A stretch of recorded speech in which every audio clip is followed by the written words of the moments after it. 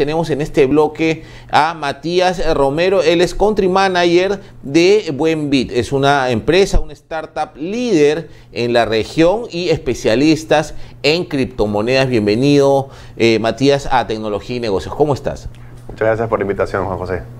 Eh, cuéntanos un poco de Buenbit. Eh, entiendo que es una empresa que, se fundó en Argentina, pero tiene cada vez más eh, mucha presencia a nivel regional. Cuéntanos un poco al respecto. Buenbit es un ecosistema cripto que busca acercar el mundo de las criptomonedas a los latinoamericanos.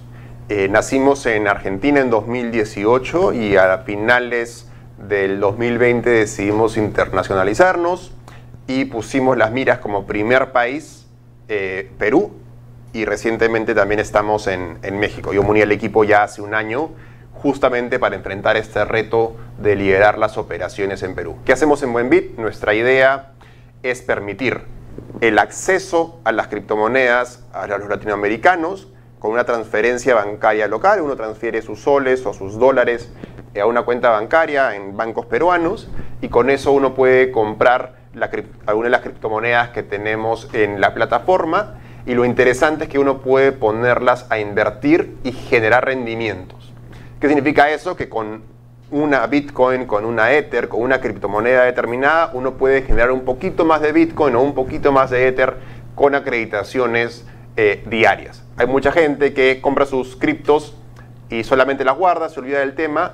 Acá uno puede ponerlas a rendir. Nuestra idea es ser la solución más confiable y simple para hacer eh, la casa o el hogar para las criptomonedas de los latinoamericanos. Claro, eh, eh, yo quisiera, por ejemplo, explicar a toda la gente que nos está viendo en todo el país a través de Fuego TV y llegamos a, muchas provincias del Perú. Por ejemplo, dentro de mi experiencia, había muchos amigos que me decían, ¿para qué vas a invertir este, comprando criptomonedas? Y yo he invertido, pero más en, que, en ganar o perder, eh, me parece que la mayor inversión es el conocimiento que uno va adquiriendo con este tema de la economía digital, del tema de administrar una billetera digital y descubrir también todo este, este fascinante mundo encriptado, valga la redundancia, de, del hash, de, de cómo una operación puede tener tanta seguridad y transparencia gracias a la tecnología innovadora, a la blockchain. Entonces, eso para mí ya es conocimiento que vale, ¿no? Entonces, eh, porque uno dice, no, pero voy a poner mi plata y voy a perder. Uno ya está ganando, ¿no? Entonces, eso es importante eh, mencionar de que eh, se debe fomentar una cultura financiera, una cultura del ahorro, pero también una cultura del uso de billeteras digitales y de inversiones ¿ah? en criptomonedas, sobre todo porque se tiene en cuenta una idea tradicionalista de que la, inversión en criptomonedas son de alto riesgo, ¿no? que puedes perder tu plata de un día para otro. ¿no? Entonces eh, hay mucha resistencia, me parece, y que tiene que ver con un tema generacional. ¿Tú qué opinas al respecto, eh, eh, Matías? Me, encanta lo, que dices de la educación. Nosotros siempre decimos que antes de hacer cualquier inversión en cripto o cualquier inversión en general, lo primero que uno debe hacer es educarse, entender el tema y por eso me parece muy útil que vean, que estén viendo tu programa y vayan entendiendo eh, un poco más del tema. Desde Buenbit ponemos muchísimos recursos a disposición de los usuarios para aprender sobre cripto, entender esas bondades. Y lo otro que decías es lo de la economía digital y la innovación y para, y para qué sirve nosotros no salimos con eh, este producto de cripto solamente por la idea de hacer plata, ¿no? que por supuesto es, una de las eh, razones por las cuales uno, uno invierte, sino para aliviarle muchos de los dolores que tenemos en Latinoamérica, a los que estamos acostumbrados. Aquí estamos acostumbrados, y esto pasa en diferentes momentos en diferentes países de la región. Muchísima inflación, devaluación de la moneda local, nos ha pasado a nosotros, digamos, en, ya en los 80 por suerte, pero por ejemplo en Argentina sigue pasando ahora con inflaciones del 50%, eh, inseguridad, y por eso el efectivo, estar cargando con efectivo en las calles es peligroso, además de que no es nada limpio. Con las cripto lo que buscamos es simplificar muchas de estas cosas y aliviar muchos de esos eh, dolores. Te pongo un ejemplo. ¿Cuánto cuesta hacer una transferencia internacional de dinero. Por ejemplo, pasarla de Perú a Estados Unidos o a Venezuela, de, eh, de Estados Unidos a Perú. Si uno envía, digamos, mil soles, probablemente lo que llegue al destino final sean 800, 850 soles. Y lo demás se va en comisiones, comisiones de, los, de la gente de, de empresas de remesas, comisiones bancarias. Con cripto uno puede hacer la misma transferencia pagando una comisión bajísima de 50 centavos de dólar, 2 soles. No importa el monto, si es un monto chiquito o un monto alto. Y lo puede hacer 24 horas al día, 7 días a la semana. Y mientras que uno tiene las cripto, está protegido de la inflación, de la devaluación y todos estos eh, y de tener efectivo, que es algo eh, súper inseguro. Claro que sí, eh, Buenbit es una marca líder a nivel regional en cuanto a criptomonedas, compra, venta, uso de billetera digital, ¿no? Y tiene tres aristas, eh, eh, tres líneas de negocio, ¿no? Entiendo. Una es la, la compra y venta de, de- de- de activos, de monedas, criptomonedas, como una casa de cambio, ¿no? Este, y, y- y después, ¿cuáles son su- su- sus demás este, propuestas, sus productos eh, comerciales? Lo- que buscamos hacer es completar ese circuito financiero que tienen eh, nuestros clientes. Entonces, en el primer lugar tú decías el acceso a las criptomonedas, la posibilidad de comprar con soles o con dólares las primeras cripto. Y lo que hacemos es tener empresas en cada país donde estamos para que las transferencias sean transferencias bancarias locales, sin necesidad de enviar dinero al exterior y, complicarse con eso. Y se puede hacer con la moneda local, o sea, con soles en Perú, con pesos en Argentina, con pesos en México. Eso es lo primero.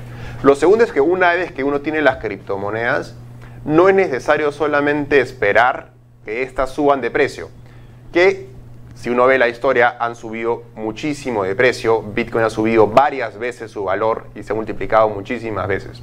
Pero hay gente que tal vez no tiene ese apetito del riesgo, no quiere enfrentar esa volatilidad de subidas y bajadas eh, eh, en el precio y lo que puede hacer es activar la sección de inversiones y poner a rendir esas cripto generando rendimientos diarios. Dentro de la plataforma tenemos lo que se llaman las criptomonedas estables o stable coins. ¿Qué son? Son criptos, igual que Bitcoin, igual que Ether, pero que están indexadas al dólar. Valen lo mismo que un dólar. Y si uno las pone a rendir, por ejemplo, pone a rendir UST, que es una criptomoneda estable, puede generar rendimientos de 18% anual. Si uno lo compara con lo que podría generar en los bancos, es bastante eh, mayor. Y la tercera línea de negocio es la del uso de estas criptomonedas. Una vez que uno ya tiene las criptomonedas, ya invirtió y quiere usarla, puede hacer varias cosas con ella. Uno, transferirlas de persona a persona, de billetera a billetera, sin necesidad de pasar nuevamente al banco o pasar efectivo, que es algo que no queremos.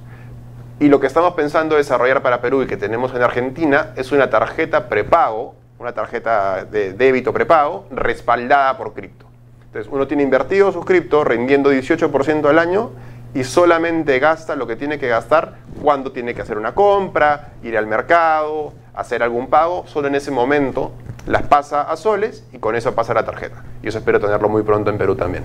Claro que sí, muy interesante todo esto que viene surgiendo en el nuevo panorama de la economía digital, ¿no? Por un lado las remesas, ¿no? Que son muy comunes, eh, no solo envíos solo a familiares, por ejemplo, de un país, España, Perú, Estados Unidos, etcétera, Japón, sino también los pagos, porque cada vez más se dan eh, circunstancias en que un profesional hace un trabajo freelance desde Perú y se va a pagar en Ecuador. ¿No? Se va a pagar en Brasil o en México o en Estados Unidos, hay, que, hay, hay un tipo de cambio, ¿no? Y esas transferencias, esos pagos también son, este, eh, eh, también tienen comisiones altas de los bancos tradicionales, ¿no? Entonces, en este nuevo entorno es donde surge eh, esta posibilidad de transparencia, ¿no?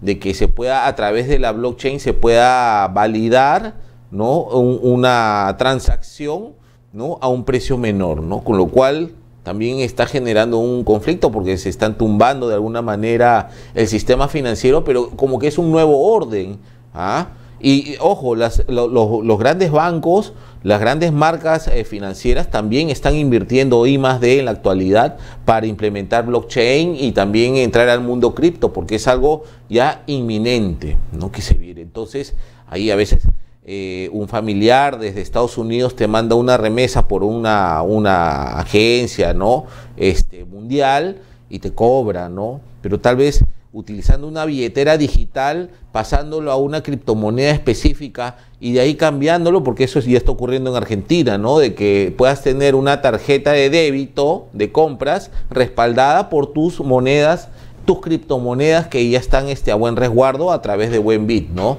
Y eso este, eh, suena súper interesante y tú calculas cuándo podría entrar al mercado peruano, porque hablas que eso ya se está utilizando en Argentina, ¿no? Entonces, este, eh, ¿cómo ves el panorama en el mercado peruano, ¿no? Y, los avances.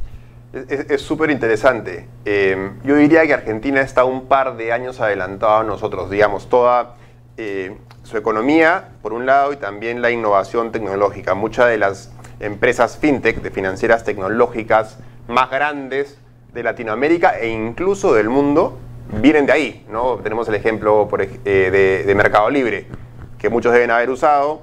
Tiene un negocio de pagos que se llama Mercado Pago y ese negocio nació en Argentina y se fue a toda, a toda la región. Em, ¿Qué veo para Perú? Cuando, se le pregunta a los peruanos cuál es su interés por las criptomonedas, más o menos 6 de cada 10 dicen estar interesados en hacer su primera compra de criptomonedas. Si les preguntamos cuántos han hecho alguna compra alguna vez, te diría que es 2 de cada 10 más o menos que han hecho alguna compra en algún momento. Pero si vemos cuántos tienen criptomonedas, digamos, en su billetera digital hoy, ese número no llega ni a uno más o menos como 3% de la, de la población. Entonces ahí ves la gran oportunidad que hay en Perú de los que tienen cripto versus los que están interesados en invertir. Y esa es una parte eh, crucial de la misión de Oenbit, que es acercar este mundo que podría parecer complejo a los usuarios y, a este, y al gran mercado eh, peruano e ir desmitificando esta idea de que es complejo. Porque sí, hay una parte tecnológica que puede parecer complicada, pero en Buenbit hacemos todo lo posible para ponerlo de la manera más simple. Si puedes usar tu banca móvil, de cualquier banco que tengas o cualquier billetera digital de las que ya conocemos, puedes usar Buenbit.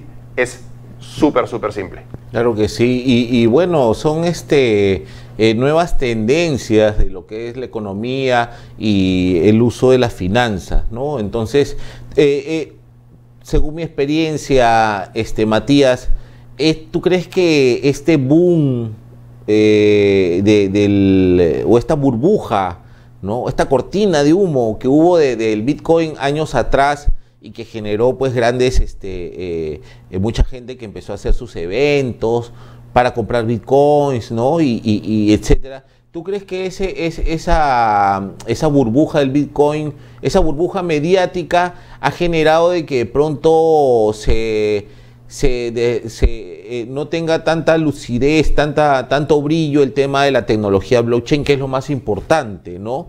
Porque es todo lo que soporta, ¿no? La del blockchain, este, eh, y todo lo que se puede hacer con esta tecnología más allá de las criptomonedas. ¿Tú crees que el Bitcoin de alguna manera, entre comillas, hablando en criollo, maleó la plaza? No, lo vería exactamente así. Eh, las criptomonedas efectivamente usan la blockchain, pero no quiere decir que la blockchain sea solamente cripto. Las criptomonedas son uno de los usos de la blockchain. ¿Para qué sirve la blockchain y esta idea de un registro descentralizado. Estamos acostumbrados a que todos los registros los lleva una entidad central, un banco, registros públicos del Estado o demás. En la blockchain lo que busca hacer es que este registro se haga de manera descentralizada y esto lo hace muy muy seguro. ¿Por qué?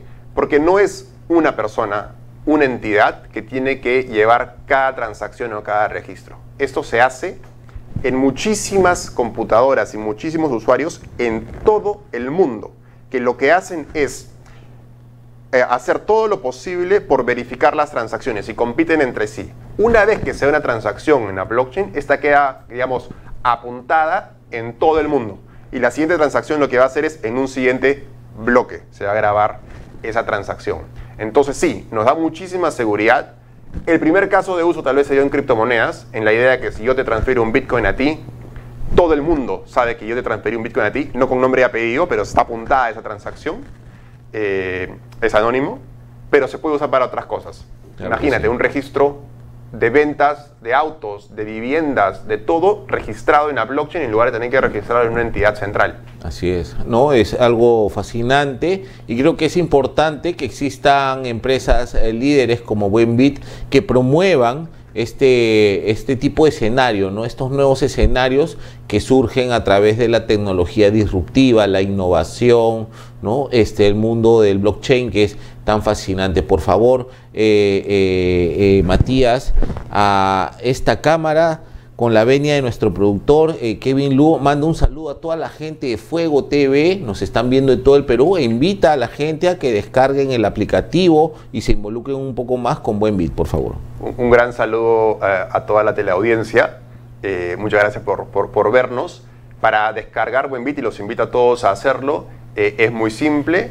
lo pueden hacer tanto en Android como en iPhone. Buscan Buen Bit, la aplicación no pesa mucho, la descargan es gratuita la, eh, descargarlo y luego uno se crea su cuenta por unos simples pasos de tomarse una foto, tomar una foto al DNI y puede comenzar a hacer sus primeras inversiones en criptomonedas. Muy de a pocos, conforme se vayan sintiendo cómodos para ir aprendiendo. Y si tienen alguna pregunta, eh, duda o que algo no quedó claro, pueden entrar a nuestra página web, buenbit.com, y ahí ponemos a disposición muchísimos recursos para aprender de esa tecnología y de las criptomonedas. Muchas gracias, eh, Matías, por tu participación en el programa Tecnología y Negocios y los mejores deseos en tus planes de, expansión con Buenbit eh, en toda la región. Muchas gracias. Muchas gracias por la invitación.